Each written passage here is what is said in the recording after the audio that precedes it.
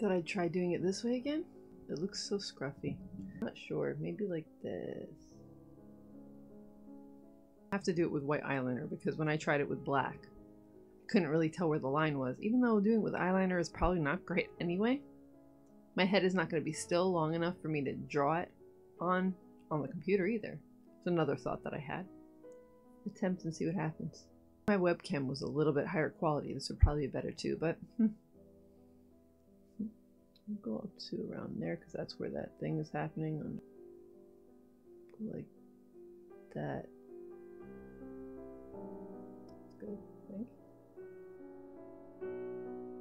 Here. Go to here. I'm also using this buzzer, which I'm a little less secure than this one than the other one. The other one is duller, therefore I can come right at my head this way. This one will cut me. If I do that, it looks a little bit higher, I think, now that I'm looking at it. So I'll cut underneath that. I already screwed up. Awesome. Forget the towel. I want to get hair on everything over here.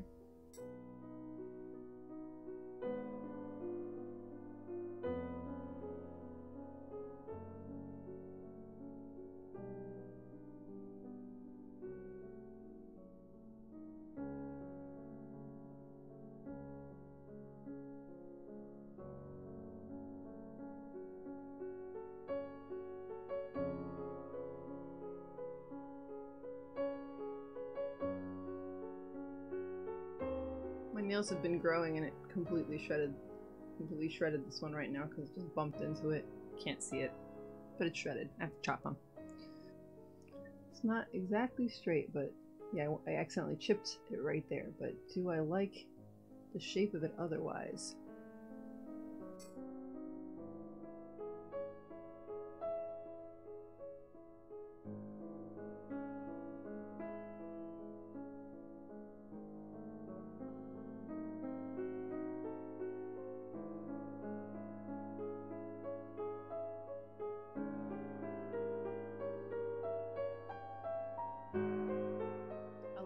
From the front, or from the side.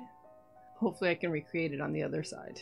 It's kind of like winged eyeliner, but a lot worse. Because if you mess up, you can't just wipe it off. And I have to go lower than this line. I maybe I shouldn't have drawn it in the first place. Hmm. I'm seeing a lot of issues with this line business each time I do it. Like it's a good idea in theory, but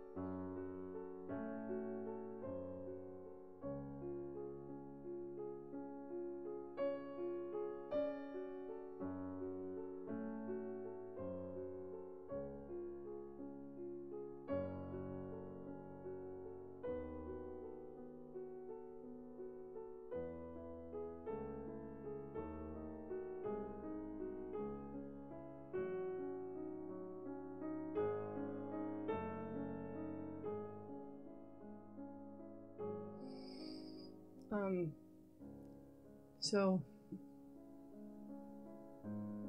So I'm absolutely not going to do an after the shower shot in this case because. If you've seen any of my videos, you know that it's really not necessary. And last time I said I wasn't going to, and I still did. This time, I'm not. I'll just post another video at some point and you'll just see it. Okay, bye.